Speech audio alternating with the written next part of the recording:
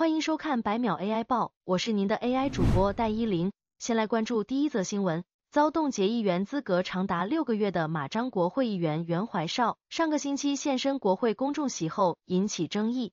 对此，议长佐哈里再次致函提醒袁怀少，强调他不得出现在公众席。不过，国盟党鞭达基尤丁今天在国会上公开替袁怀少抱不平。达基尤丁认为，资格遭冻结的议员只是不得参与议会或辩论环节，袁怀少坐在公众席并没有触犯议会条规。Kalau kita ambil contoh perlawanan bola sepak, seorang pemain yang telah di send off, telah bagi kad kuning, digantung, berapa lama pun. Bila perlawanan seterusnya dia boleh duduk di public gallery boleh tengok bola.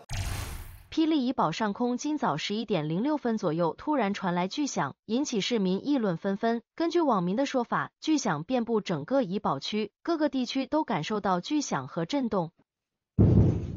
对此，霹雳总警长阿滋滋发文告强调，经过多方查证，怡保今天上午并没有进行爆破训练，也没有诈尸活动或地震。暂时还无法得知怡宝今早传出巨响的原因。经济部长拉菲兹在接受彭博社电视访问时指出，政府在宣布明年年中落实针对性汽油津贴后，就已经准备好迎接公众的强烈反弹。拉菲兹坦言，虽然针对性汽油津贴将为政府每年节省八十亿令吉，但也可能会引发第二轮的物价上涨和通膨。拉菲兹说，政府已经为即将到来的艰难挑战做好了准备。今天的节目来到尾声，更多国内外资讯，锁定今晚八点最热报。